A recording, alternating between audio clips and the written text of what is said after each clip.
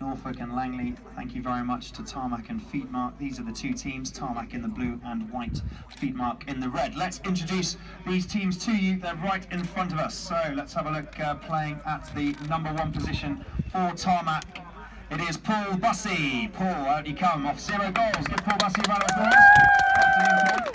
Playing at two, we spoke to earlier in the marquee. She is hot property right now. She is the all ladies, all singing, all dancing, Hazel Jackson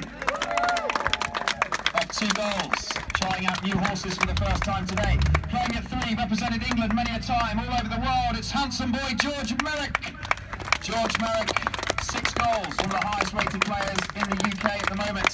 And playing at the back, we're very honoured to have him here. He's a very busy man, it's His Royal Highness the Duke of Cambridge, Prince William. Thank you very much for being here and giving your time.